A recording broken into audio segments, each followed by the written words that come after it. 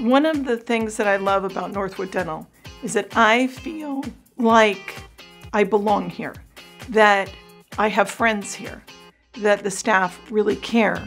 Even if they don't work with me specifically, they are the friendliest staff and they're so competent. Everyone is so good at what they do.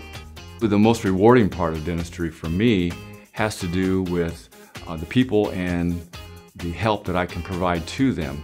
The technology at this office is very important because it, it helped me out with my gums to be in much healthier than they've ever been because I have gone through other procedures at other dental offices. It didn't hold up. At this point, we can do pretty much any procedure quickly, without any pain, Sometimes it's a little messy with all the air and water, but it's just not like it used to be. The staff is phenomenal. They're real friendly. When you come in, they greet you. They always treat you with the utmost respect and professionalism is is top of the line. I can't say enough about how kind they are.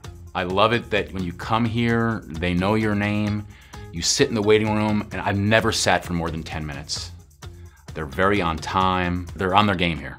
I have found at Northwood Dental, every person that works here is so nice and they're just so willing to help you. If you have any questions, they'll either know the answer or they will refer you to that right person.